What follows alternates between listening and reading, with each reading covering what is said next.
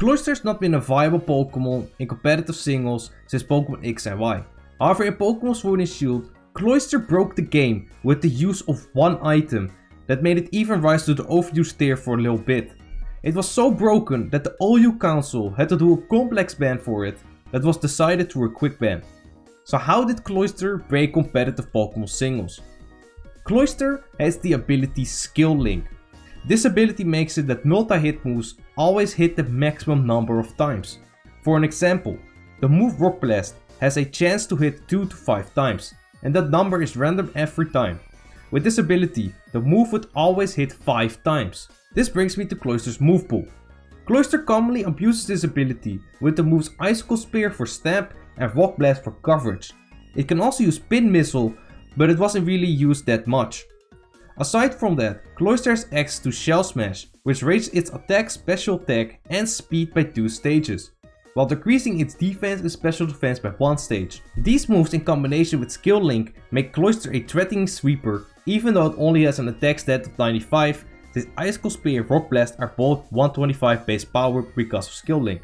Now Cloyster already had all of that since Generation 5, and nothing really changed throughout the generations. It wasn't until Pokemon Sword and Shield however, that players discovered a new strategy with Cloyster. They started to use the item King's Rock on Cloyster. Now King's Rock is an item that has been in the game for quite a while, and since Generation 5, it grants the holder a chance of 10% to flinch with a move that doesn't already have a chance to flinch. Now King's Rock works on every hit of a multi-hit move.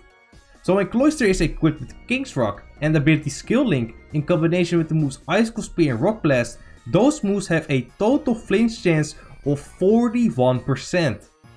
This made Cloyster very hard to consistently deal with, since it could very easily break through its counters with the flinch.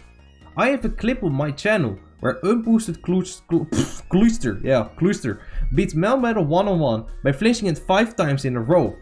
With the Shell Smash boost active, Cloyster could do this even easier since it is very hard to outspeed and does have access to Ice Shard for priority in case something does outspeed. As you might understand, this was a very unfair and uncompetitive set that requires no skill and has no reliable counters. Which is why Cloyster plus King's Rock got a complex ban that was done with a quick ban by council vote.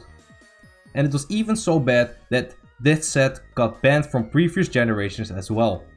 If you enjoyed the video or learned something new, consider liking the like in the video and if you're new subscribe for more competitive Pokemon coverage. Let me know your thoughts about King's Rock Cloyster as well and thank you for watching.